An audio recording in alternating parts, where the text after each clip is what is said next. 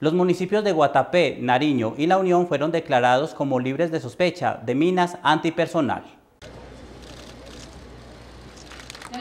Con este acto simbólico encabezado por el presidente de la República, Juan Manuel Santos, y acompañado por los niños del municipio de Nariño, esta localidad del oriente antioqueño fue declarada como libre de sospecha de mina antipersona. Entregarnos como libre de sospecha de mina es una posibilidad hermosa que la gente vuelva, retorne a los territorios sin ese miedo de que va a volver otra vez la zozobra y la violencia. La labor de desminado en Nariño se extendió por tres años.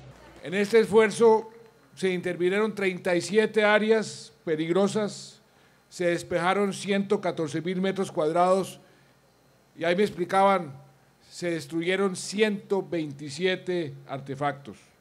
Además de Nariño, Guatapé y La Unión fueron los otros dos municipios que también fueron declarados libres de minas, que se suman a otros cinco municipios del país. Primero es un mensaje muy bueno para el país y para el mundo.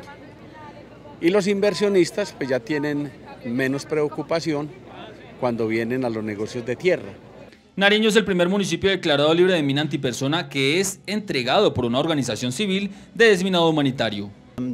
Empleados, unos 200 desminadores a través del, suroriente de Antioquia que hacen el desminado. Propiamente son eh, de las comunidades afectadas en las minas y los entrenamos y nos apoyan en sacar las minas del terreno. La visita presidencial, que estuvo acompañada de altos mandos militares y del gobernador de Antioquia, Luis Pérez Gutiérrez, llenó de esperanza a un municipio que sin querer fue protagonista del conflicto armado colombiano.